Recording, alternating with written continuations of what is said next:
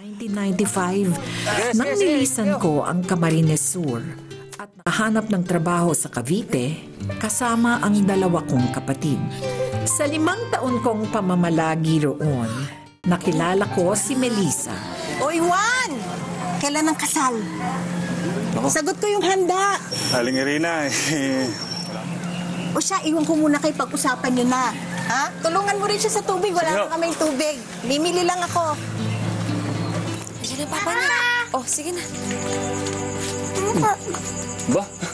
Meron akong pasalubong sa inyong dalawa. Hmm. Hmm. Lollipop at candy! Oh, bukas nyo na kainin yan, ha? Gabi na, matulog na kayo. Rowena. Tulog na, tulog na, tulog na. Ba- Bakit? Eh, naisip ko lang, lumalaki na yung pamilya natin. Pero nakikitira pa rin tayo dito sa bahay ni Ninang Irena. Hanap ko na kaya ng trabaho. Konting tiis na lang, ha? Gagawan ko ng paraan. Ititira ko kayo sa isang palasyo. Malasyo talaga. Ah, ma'am, mag-a-apply ko sana akong trabaho. Trabaho? Ano ba alam mo? Ah, kayo po, kahit ano po. Ano ba natapos mo? Grade 2 lang ho eh. Ay, naku, hindi. Hindi kami tumatanggap ng hindi high school graduate eh. Sige ha. Kumusta paghahanap mong trabaho? Eh, Wala pang kumukuha sa akin eh. Lahat ng ina-applyan ko, naghahanap ng diploma. Kahit bakery. Ako na lang magkatrabaho. May naghahanap ng waitress sa Tagaytay. Yun nga lang, lingguhan ng uwian. Sige, papayagan kita. Pero pag nakahanap ako ng mas maayos na trabaho, hihinto ka ha. Mahirap tanggapin na hindi ko natupad ang pinangako kong buhay para sa pamilya ko. Ginawa ko naman ang lahat. Pakiramdam ko tuloy, wala akong silbi. bahay? Lalo na nang namatay si Ninang Irena at napilitan kaming umalis dahil dumating na ang mga anak niya. May problema ba? Problema? Kailangan mo talaga tanungin? Ma'am, ma'am, kunting tiis pa. Kunting tiis pa. Kunting tiis? Ilang beses ko na naririgan yung tik na kunting tiis na yan? Next week, lilipat ako ng Pasay. Mas malaki kita doon. Love, At huwag ka nang tumutol. At pagod na makipag-away. asawa niya ba? Ha? Eh, sino yung lalaking lagi sumusundo sa kanya dito?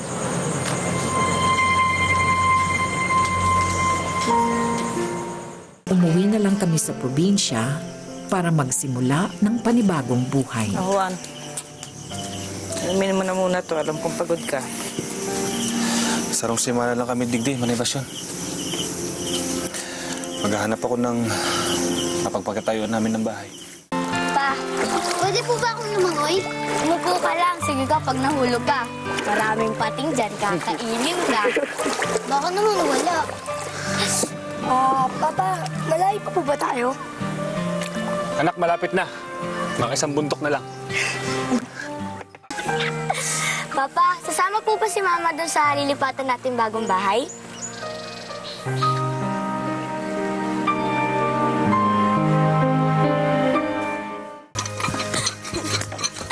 Papa, ang ganda po ng bahay natin. Oo nga, Papa, ang ganda. Kaso parang ang liit po. okay lang yan, ate. Pag malaki na ako, pagkatapos ko mag-aral, pag madami na pera ko, papalakihin ko pa tong bahay na to. Parang palasyo. Di ba, Papa? Papa! Oh! Sa tabi. Sa tabi. Sa tabi. Sa tabi. Ano ba? Sa tabi. Tulong. Tali, ano ba ang assignment nyo, Matt? Magaling ang papa sa math. Papa, hindi po mati. English po. Ah, English? Opo. Sige, kaya-kaya nyo na yan. O tara, simulan natin. Napuntahan mo na. Na kayo. Ano muna sa dito? Kailangan sa to. Mag-aaral kayo mabuti, ha? Dahil ang pag-aaral ay importante. Para paglaki nyo, makakuha kayo ng magandang trabaho. Ingat kayo. Sige. Ingat. Rowena! Ha? Diyos ko, anak. Kamusta ka na, anak? Miss na miss ka na ng mama. Halika, anak, sumama ka sa akin. Ma, ayoko po sumama. Anak, mag-usap lang tayo. Sandali lang. Kakain tayo sa kanto. Halika, dali. Ma.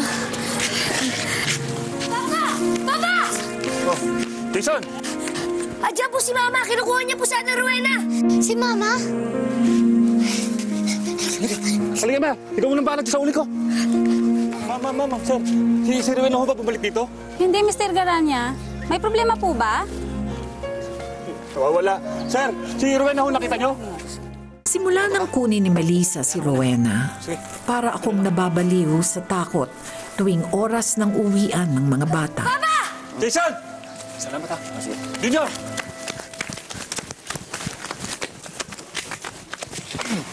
Papa, ako 100 po ako sa math. Talaga? Karing talaga ng bulso ko. Ako po, tumistics po ako sa English. Sayang nga po, 100 na po sana kung andito po si ate. Wala na po kasi nagtuturo sa akin eh. Papa, kamusta na po kaya si Ate Rowena? Taon Tara, ang Papa. binilang bago Uwi na po tuluyang tayo. nawala ang Gutom na po takot ako ko. eh. Muli kaming namuhay ng maayos ni na Jason at Junior mo kainin, ha? sa kabila ng pangmulila kay Rowena. Lilipat po tayo? Oo, kumusta ang hindi nyo?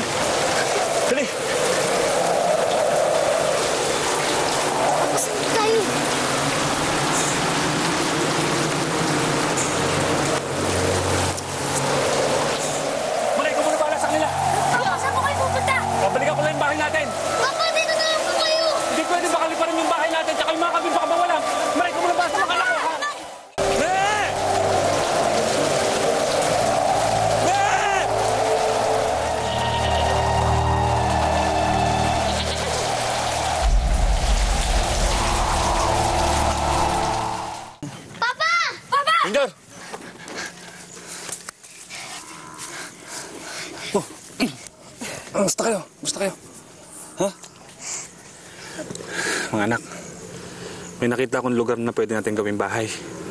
Doon ako sumilong kagabi. Talaga po? Sino po nakatira doon? Pwede po ba tayo tumira doon? Astig kayo! Oo nga, Jason, astig ko. Tinan mo, mahiwas.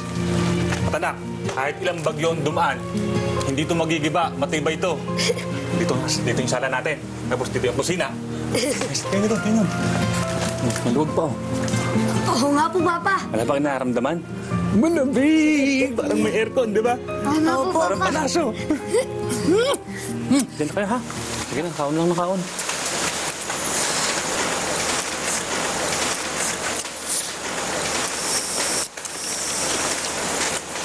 Pa, hati na po tayo sa isda.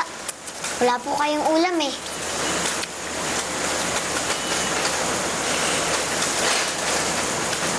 Anak, sa'yo yan, ha?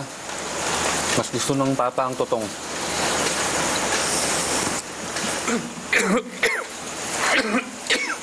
Pa, gusto niyo po tubig? Sige po. Ano sa anak? Salamat, salamat. Papaas po! Dito ka, dito ka. Dito ka.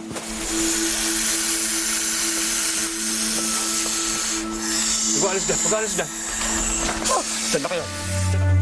Galing talaga ni Papa! Galing niyo po! Hoy, ano yan?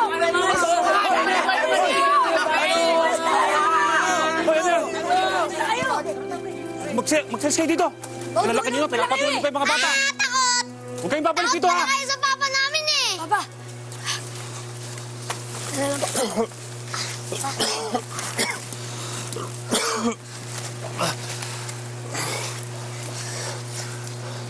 Palagi ba kayo naaway ng mga yon?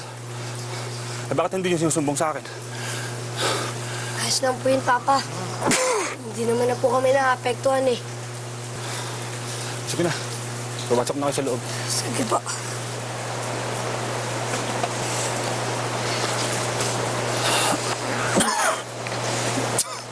Kuya,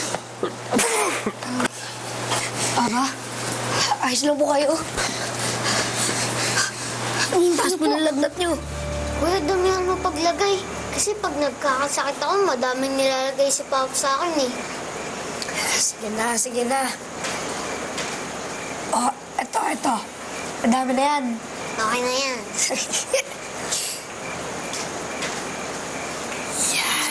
Ako na, ako na, ako na, ako na. Ay, talaga. Magaling na ang papa. Wala na sakit, ha? Oh. Ganito. Ayan. Alam niyo ba kung bakit ako ang pinakaswerteng papa sa buong mundo? Bakit po? Kasi hindi niyo ako iniwan. Hindi kayo nagreklamo. Kahit mahirap ang buhay natin. Kahit na palipat-lipat tayo ng bahay. Kahit na humantong tayo sa pagtira dito sa loob ng kuweba.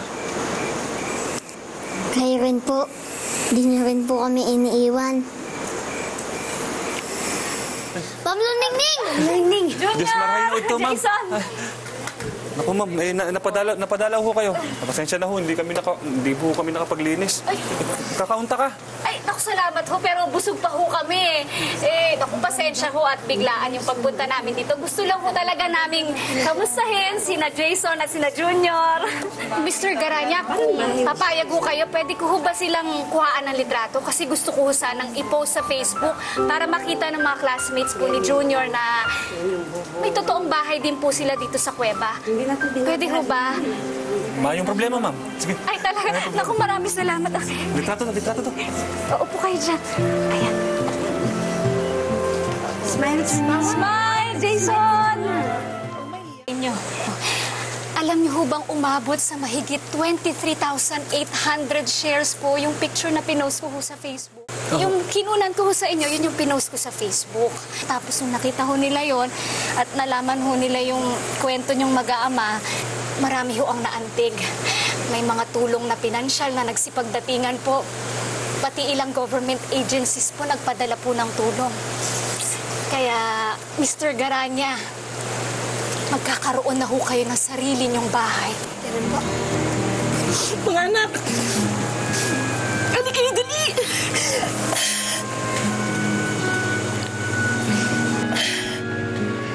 Dali, dali.